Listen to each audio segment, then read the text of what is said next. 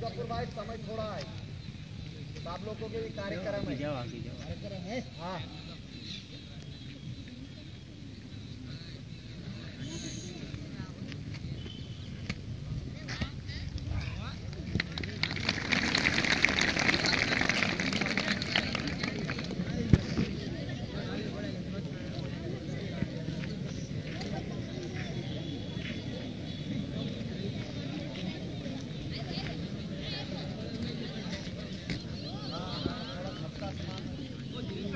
आजा।